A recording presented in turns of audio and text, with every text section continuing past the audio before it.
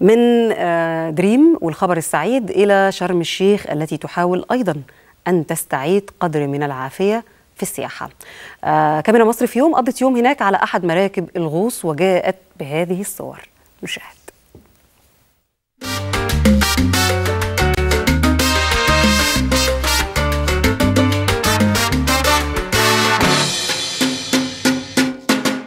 شرم الشيخ. واحدة من أفضل أماكن ممارسة الرياضة المائية في البحر الأحمر.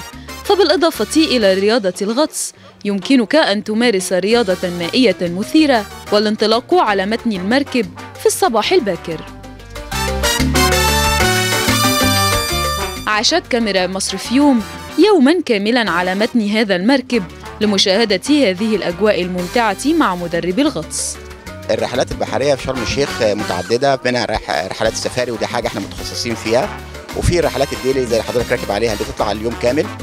من الصبح لحد آه، نص اليوم بنطلع من الساعة 9 الصبح لحد الساعة 4 لحد الساعة 1 ومن 1 ونص بنطلع للساعة 5 يوميا. إحنا بنعمل program عندنا بنروح راس محمد نعمل ال submarine بعد كده بنرجع على مرسى غزلان نعمل snorkeling بعد كده الناس بياكلوا بعد كده بنرجع على على المينا تاني.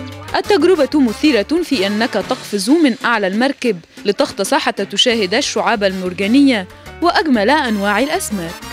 طبعا إحنا عندنا الشعب المرجانية اللي هنا كلها ديت طبعا حية. الشعب ديت كل أربع سنين بتنمو واحد مليمتر. بس بمجرد ما إحنا بنقف على الشعب الشعب بتموت وبنفقد التوازن البيئي لل...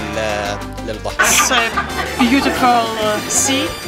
شرم الشيخ بحرها جميل وهذه الرحلات البحرية ممتعة للغاية. وآتي سنويا للاستمتاع بهذه الرحلات.